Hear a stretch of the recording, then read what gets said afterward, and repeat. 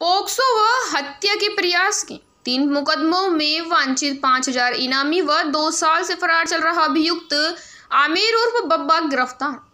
श्रीमान मनीष त्रिपाठी, आईपीएस जिला पुलिस अधीक्षक टोक के आदेशानुसार, एवं श्री राकेश भेर भेरवाती, पुलिस अधीक्षक मालपुरा। श्री सुशील मान वृत्ताधिकारी पुलिस वृत्त मालपुरा के निर्देशन में प्रकरण संख्या दो सौ बयासी, दो हज़ार बीस व तीन सौ चौरानवे।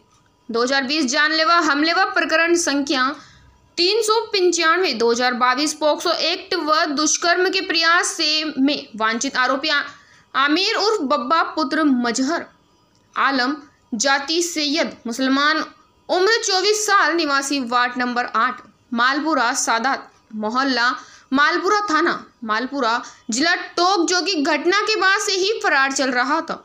जिस पर श्रीमान पुलिस अधीक्षक महोदय द्वारा गिरफ्तारी अथवा उसकी सूचना देने वाले को पाँच हज़ार रुपये इनाम की घोषणा भी की गई। आरोपी की गिरफ्तारी के लिए थाना अधिकारी कैलाश कुमार विश्नोई, पुलिस निरीक्षक श्री गंगदेव, श्री परवेज देवी शंकर द्वारा आज दिनांक उनतीस आठ दो हज़ार बाईस को मालपुरा बस स्टैंड पर बस से उतरते समय मुखबिर सूचना पर गिरफ़्तार किया गया।